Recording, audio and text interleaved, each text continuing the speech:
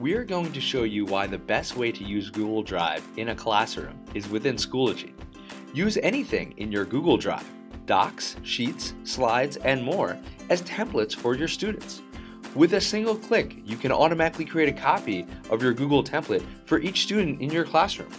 Once it's created, enjoy using all your favorite Google Doc features within Schoology's advanced LMS. Since the Google Doc was automatically created for them, there's no reason for students to leave Schoology. Each student can access their individual submission directly within the Schoology platform, allowing for a seamless educational experience. Students can submit information directly within Schoology without having to switch between multiple tabs. Teachers can see the status of every submission, including those that are late or ungraded, in a single window. Since our integration allows for seamless use of both Schoology and Google, teachers can access all of Schoology's features when grading, including rubrics and gradebook comments. Learn more about Schoology at www.schoology.com.